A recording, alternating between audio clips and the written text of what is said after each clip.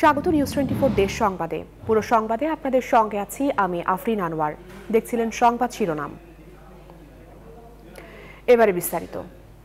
পাহাড়ি ঢলে কিশোরগঞ্জের হাওরের ইটনা উপজেলার নদী নিচু জমি প্লাবিত হয়েছে। এসব জমির কাঁচা পাকা ধান পানিতে নেমে কাটছেন কৃষকরা। তবে নদীর পানি বৃদ্ধি পেলে বড় ধরনের ক্ষতির আশঙ্কা করছে কৃষকরা। জেলা প্রশাসক বলছেন নদীর গভীরতা ফিরিয়ে আনতে ব্যবস্থা নেওয়া হচ্ছে। টিটু দাসের তথ্যে ডেস্ক রিপোর্ট।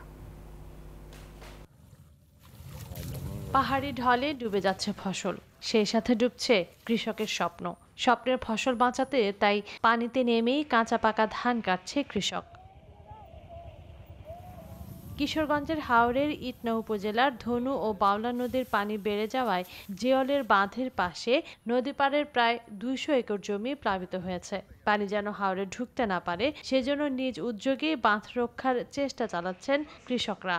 ধান কাটতেছে যে কাঁচা ফান না দিও ধান চাইলে আসই না নাই আছে এটাও সঠিক কইতারেন খ্যাতি আমাদের ডুবে যেতেছে এখন আর কাটার মতো কোনো প্রচেষ্টা নাই। পানির যে অবস্থা খুব খারাপ সেজন্য এই বাঁধের প্রতি আমাদের লক্ষ্য রাখতে হইব। তারা বলছেন নদীর গভীরতা না থাকায় পাহাড়ি ঢলে নদীর পাড় ডুবে বারবার ফসলহানি হচ্ছে। তাই নদী খননের দাবি তাদের। নদী যদি আরও গভীর হতো তাহলে এত পানি হতো না। নদীর পানির ধারণ ক্ষমতার সীমার বাইরে চলে গেছে যার জন্য আমাদের এদিকে এলাকা প্লাবিত হইতেছে। দাবি জানাই নদী কুদাও হোক পাহাড়ি ডলাইলেও আমরা আর এই সমস্যা হইতো না। নদীর গভীরতা ফিরিয়ে আনতে ব্যবস্থা নেওয়ার কথা জানান জেলা প্রশাসক। পানি উন্নয়ন বোর্ড এবং সেই সাথে সাথে পানি সম্পদ মন্ত্রণালয় বিএ ডব্লিউটিএ সংশ্লিষ্ট যে কর্তৃপক্ষগুলো রয়েছে তাদের কাছে আমরা লিখব যে যাতে এই নদীগুলোর তলদেশ খনন করা হয় এবং নদীর প্রবাহটি ঠিক থাকে। এবছর কিশোরগঞ্জের হাওড়ে এক লাখ চার হাজার হেক্টর জমিতে বোরো ধানের আবাদ হয়েছে। Desk report news twenty four. হাওরের বাঁধ ভেঙে ফসল হানি যেন নিয়তি হয়ে দাঁড়িয়েছে।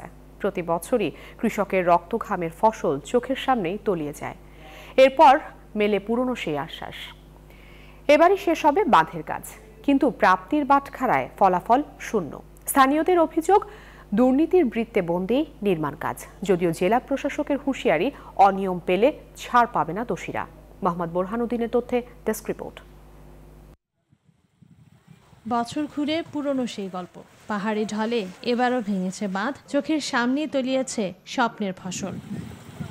সুনামগঞ্জের হাওর পাড়ের কৃষকদের জন্য যেন এটাই নিয়তি। যদিও বাঁধ নির্মাণ আর সংস্কারে বছর ঘুরে বাড়ে বরাদ্দ, চলতি বছরও মিলেছে একশো পঁচিশ কোটি টাকা। যদিও বিপুল পরিমাণ এই অর্থের সঠিক ব্যবহার নিয়ে প্রশ্ন তুলেছেন কৃষকরা। তারা অভিযোগের তীর ছুঁড়েছেন প্রকল্প সংশ্লিষ্টদের দিকে।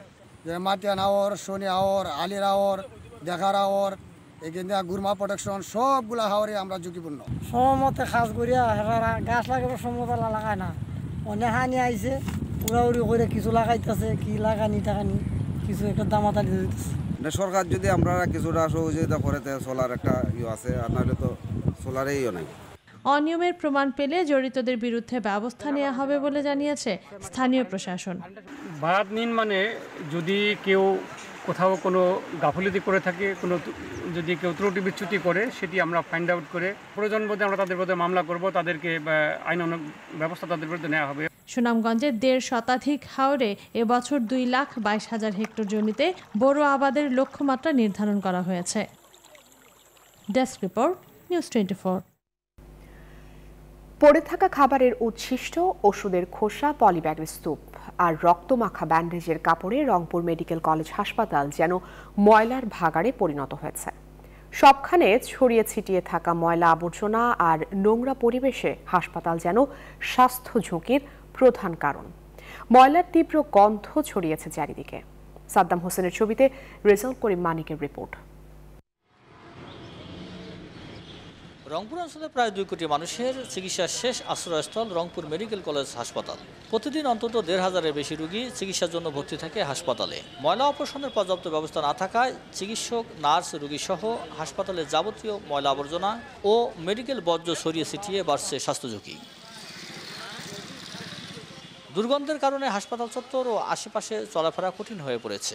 সুস্থ হতে এসে অনেকেই হাসপাতালের বাইরের নোংরা পরিবেশে অসুস্থ হয়ে পড়ছেন। দীর্ঘদিনেও হাসপাতাল কর্তৃপক্ষ কোনো ব্যবস্থা না নেওয়ায় ক্ষুদ্র সেবা প্রত্যাশীরা। তারা বলছেন অসুস্থ রোগী নিয়ে এসে সুস্থ স্বজনরাও দুর্গন্ধে অসুস্থ হচ্ছেন। এই যে হাসপাতাল আসছি আমরা রুগী নিয়ে যে পরিস্থিতি এবার আমাদের সুস্থতা কি করবে? মেডিকেলেই তো সুস্থ নাই। মেডিকেল ঢুকতে গন্ধ থাকা যায় না। ছেলে মেয়ে তো অসুস্থ হয়ে যাচ্ছে। আমরা তো আসি চিকিৎসার জন্য। আসি আমরা আর গন্ধ শুনি পেটটা পিকি বাড়িতে যাই। সঠিকভাবে সিটি কর্পোরেশন ময়লা অপসারণ করে না অভিযোগ হাসপাতাল পরিচালকের। এছাড়া নিজস্ব পরিবহনে ময়লা অপসারণ ও মনিটরিং টিম গঠনের কথাও বলেন তিনি। কয়েকটা ভ্যান চালু করব যাতে ময়লা আবর্জনাগুলো খুব দ্রুত আমাদের হাসপাতাল ক্যাম্পাস থেকে বের করে আমরা সিটি কর্পোরেশনের নির্ধারিত জায়গায় রাখতে পারি। আর হাসপাতালের যে পরিষ্কার পরিচ্ছন্নতা কার্যক্রম মনিটরিং করার জন্য আমরা চার সদস্যের একটা আমরা সার্ভে মনিটরিং টিম গঠন করেছি। এই মনিটরিং টিমের কার্যক্রম আরও জোরদার হবে ভবিষ্যতে। প্রায় দুই কোটি মানুষের চিকিৎসার ভরসাস্থল রংপুর মেডিকেল কলেজ হসপিটাল। এই হাসপাতালের প্রবেশপথ থেকে বহুতল ভবন পর্যন্ত যত্রতত্র পড়ে আছে ময়লার ভাগার দুর্গন্ধে অতিষ্ঠ রুগী ও স্বজনরা। কর্তৃপক্ষ দেখেও যেন নির্বিকার। তাই হাসপাতাল থেকে ময়লা অপসারণ করে পরিচ্ছন্ন রাখা দাবি সকলের। Rezaul Karim Manik, news twenty four, Rangpur. সংবাদের এই পর্যায়ে নিচ্ছে একটি বিরতি। আরও খবর নিয়ে ফিরছি একটু পর। বিরতির পর আবারও স্বাগত দেখছেন দেশ সংবাদ। কুষ্টিয়ায় পেঁয়াজের বাম্পার ফলন হয়েছে। কৃষক প্রতি বিঘা জমি থেকে তুলছেন সত্তর থেকে আশি মন পেঁয়াজ। কিন্তু এই সাফল্যেও হাসি নেই তাদের মুখে। বাম্পার ফলনের চাপে চড়া দামের পেঁয়াজের দর নেমে এসেছে কেজিতে পনেরো থেকে সতেরো টাকায়।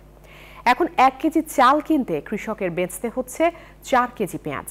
মৌসুম শেষেই আবার চড়া দামে কৃষককে কিনে খেতে হবে তারই উৎপাদিত পণ্য। জাহিদুজ্জামানের রিপোর্ট।